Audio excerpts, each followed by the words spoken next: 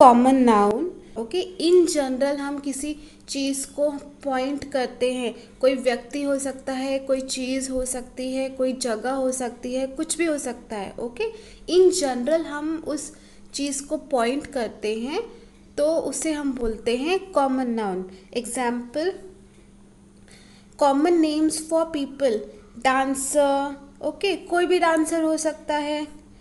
Doctor कोई भी doctor हो सकता है। हमने स्पेसिफिकली मेंशन नहीं किया है कौन सा डॉक्टर टीचर फ्रेंड तो ये सब क्या है? Common names for people common names for places shop park school city all right कौन सी सिटी है? हमने मेंशन नहीं किया है। इन जनरल हमने बोला है city similarly common names for animals tiger lion bear common names for things book computer सब क्या है कॉमन नेम्स फॉर थिंग्स अगर हम इन जनरल किसी चीज़ को ए पर्सन को प्लेस को एनिमल को मेंशन करते हैं पॉइंट करते हैं ओके okay? उनके बारे में कुछ बोलते हैं तो उन नाउन को हम बोलते हैं कॉमन नाउन कॉमन नाउन का जो वर्ड है ओके okay?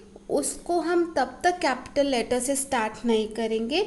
यानी कॉमन नाउन जो है, उसका जो वर्ड है, उसका फ़र्स्ट लेटर तब तक कैपिटल नहीं होगा, जब तक कि वो सेंटेंस के स्टार्टिंग में ना आए। अगर जो कॉमन नाउन है सेंटेंस के बीच में आता है तो उसे आप स्मॉल लेटर के साथ ही लिखेंगे।